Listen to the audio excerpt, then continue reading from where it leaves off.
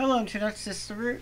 For anyone who basically got an AMD 6700, 6800, or 6900 or 6000 series XT graphics card, a Radeon one, and if you use Linux, you're going to run into a lot of problems, such as the no input signal issue.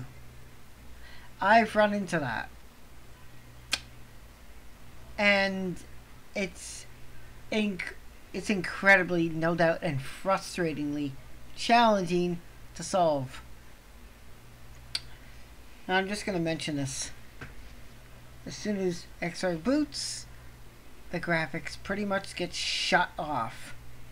There's no way of uh, switching to a TTY, and I've tried that multiple times.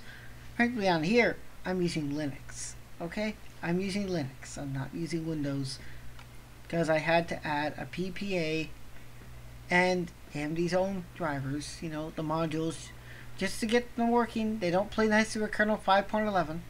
They do not at all play nicely with it. On Debian, they just straight do not work. Period. So, yeah.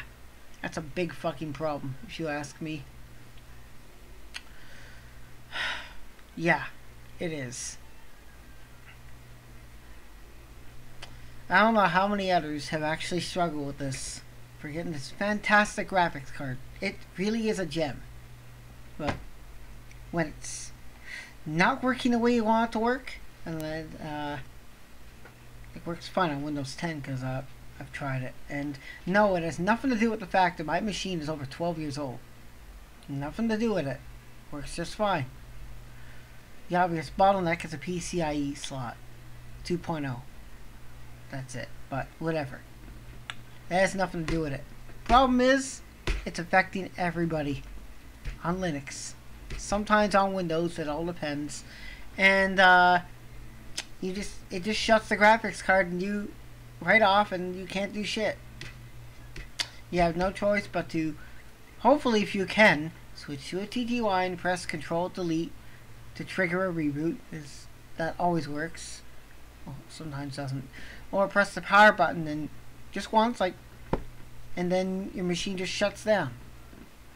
Hopefully, anyway, without staying the same way. I say it's a fucking utter and complete pain in the ass to have to do that every single time. No, really, it is. It really is. I'm thankful I got the, the modules from AMD actually work and through the other PPA on GitHub, I'm actually I was actually able to get it working on the latest kernel. So that's a surprise. It works, but it doesn't work on things that are based on anything based on Debian. Yes, it'll work. Like a Pop OS and others. Uh, good luck with that. Seriously, good luck. Uh, AMD's proprietary drivers modules are not available on the uh, in the in the driver manager, whatever you how you want to call it. Not available in the repository, so you got to get them separately. Took a bit of digging, I found them, and you know, digging on the AMD website, you'll eventually come across them under the Ubuntu section.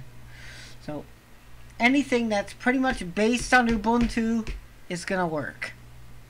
Anything not, you're gonna run into problems, and it's just not just impact Debian. I'm not an expert on this at all, you know. So it affects other distributions too, and upon doing a little bit of research, quite a few, quite a few, and that's not good. On top of that, I tried to uh before I had to resort to this HDMI monitor. Yes, well DVI to HDMI because I'm using my adapter. This is what I was using to use my a really old HD TV, an LCD one. That's 1400 by 900. Ironically, almost the same resolution as my uh, laptop, Lenovo, which doesn't have AMD graphics. Just putting that back so it doesn't fall on the floor again, because that would be a horrible sight to see. I've had many cables fall, and that was unplanned too. So, yeah, that sucks to be experiencing no video, no input signal or whatever the heck your monitor says, or if it shuts off in power saving mode. Uh, it it just sucks having to uh, deal with that shit. You know, it just sucks. How many times would you uh want to be dealing with that on a daily motherfucking basis? Probably not many. It's enough to make you want to get rid of your graphics card and sell it off for cheap or just dedicate it to a Windows only machine. I know, I've gotten that feeling. Thankfully, I got Windows on a second hard drive, so if I really want to do such a thing, I can just boot, just choose to boot Windows and deal with all the slow shit that Windows comes with. But no, I'm gonna stick it out with the open source. I've been doing it for 17 years, so that's no mystery or nothing new to me. And this graphics card, holy fucking shit. Damn it. I can only imagine if I never used Debian before and I was uh, using Arch or whatever the fuck distribution anyone uses because they're all amazing. They're all amazing. They all got their pros and cons. I would have probably been flipping lids. No, really. Flipping lids. That would have been good anyway. Oh. Can't believe I didn't connect this up and use this as a webcam. Oh well. I was wondering why it wasn't hooked up and why I wasn't looking at was looking at that instead of the oh well. Whoops. Anyways, if you look at the video, see how sharp it is. That's a filter I've used. Because I don't know what it is. This camera got blurry ever since I took the infrared filter out of it. So maybe I scratched the lens. I don't know, but it seems to clear it up. Anyways, uh, yeah, it sucks. And I feel for anyone that has this this series of graphics card that's on Linux. And until AMD provides some proper modules in that that can easily be downloaded offline and run from the command line, you know what I'm talking about.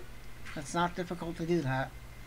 Deb, package, whatever the fuck, and it'll install then uh, without having to resort to downloading it, because God forbid you actually install a Debian system that's got network connectivity and you can't configure it because it shuts out the graphics card during the installation.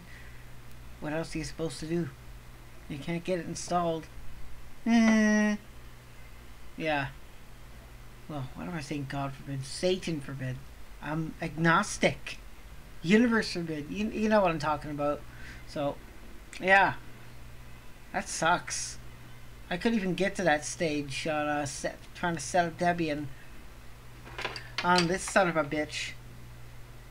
Formerly had Chromium OS, but that won't work with the graphics card either, so yippee, that's a bit fun, isn't it? That's a bit fun. Wasn't able to get that working either, so I had to uh, scrap it. Yeah, so much for having a USB portable Chromebook if it's not going to work on the main machine. Hmm. If only mine had uh, two PCI Express slots. If it did, like two graphics slots, well, I'd be able to put my other older graphics card in and uh, use that as a second display. And yes, the primary one, or whatever the heck, I two displays, would shut off and this one would remain on. Well, unfortunately most motherboards don't have two. And if they do, well, got to corner up a lot of money for that.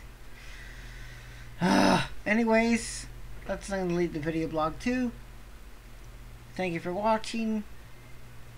Sorry, I keep looking away from the camera. But whatever. Uh, I'm going to probably set in front of my screen this time, so that's why I don't have to keep doing that. Anyways, Peace out. Thank you for watching. Feel free to share the video and feel free to subscribe. Maybe a thumbs up. I don't give a fuck. You want to thumb it up or thumb it up your ass? I don't care. Anyways, uh, that's all. Laters. And, uh, good luck with the graphics card.